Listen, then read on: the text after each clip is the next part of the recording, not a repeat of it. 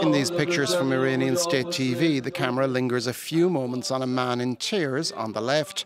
It appears to be Ismail Qaani, head of the Al Quds force of the Revolutionary Guard, though his name was not mentioned on the broadcast.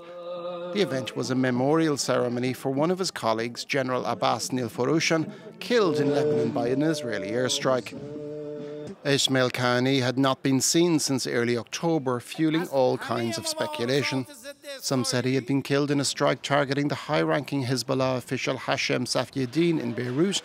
Others alleged he was an Israeli mole and was being interrogated by Iranian security services. The Revolutionary Guard are investigating how Israel might have infiltrated Hezbollah and also Iran's security services in recent months.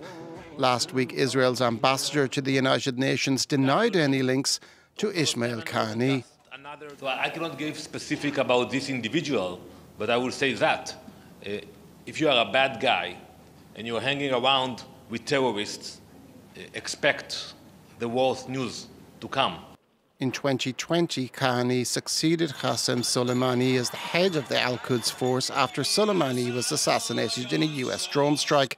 Qaani directed the Revolutionary Guard's external operations, collaborating with Iran's auxiliaries such as Hamas in Gaza, the Houthis in Yemen, and Hezbollah in Iran.